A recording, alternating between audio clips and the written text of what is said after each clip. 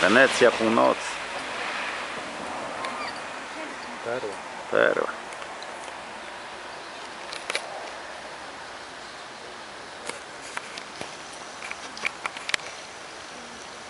Banów?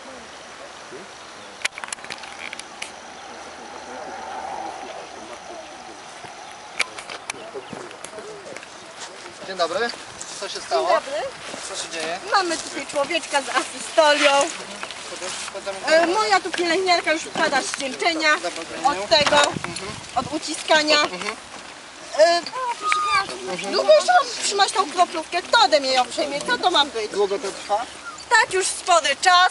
Ja muszę tutaj pacjenta osłuchać, bo nie miałam nawet kiedy jeszcze. Podaj mu leki, atropinę i adrenalinę. To jest, to jest Jest podłączony. podłączony jest. Bo to jest podłączone. Ile atropiny, ile adrenaliny? Atropina i adrenalina już poszła. Ale w Tutaj jakiej ilości? 3 mg atropiny Tak. poszły i trzecia adrenalina już poszła. Także Nie, proszę pana, w ogóle dostałyśmy jakiś sprzęt z Unii Europejskiej, nie Dawno wiemy to- jak go użyć. Czy da, dawno, Gdzie jest ten sprzęt z Unii Europejskiej? Od dawna reanimacja trwa? Tak, już spory czas. Tu mi Sporo, koleżanka... to znaczy ile? Nie wiem, co ja mam o każdym pacjencie, wszystko pamiętam. Co to ja Nie jest może jestem? Mam znaczona, pani sobie potrzyma tą zakładone. kroplóweczkę. No, a ja tutaj zmienię kolegę, przepraszam. Posłuchamy, jest wszystko w porządku? Tak, jest wszystko w porządku. Teraz jeszcze czas na czas już podam, tak?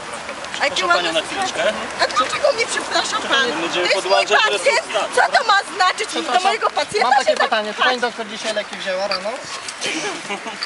Nie, takie Pan się nie martwi o mnie, bo ja jestem pełna umysłu, pełna zdrowia. Ja wiem, co mam robić. Proszę mi się tu nie wtrącać, bo to jest mój pacjent, ja za niego odpowiadam. Co to ma znaczyć? Co to ma znaczyć do cholery? Przepuśćcie mnie do niego. Świetna robota, widzimy, dziękujemy bardzo. Ja muszę go słuchać jeszcze, a nie. Ja muszę jeszcze pacjenta swojego słuchać. Przepuśćcie mnie. Ale ja muszę słuchać, to jest mój pacjent. Proszę wyżej tą kroplóweczkę. Co pani teraz To nie zadania. Już, koniec.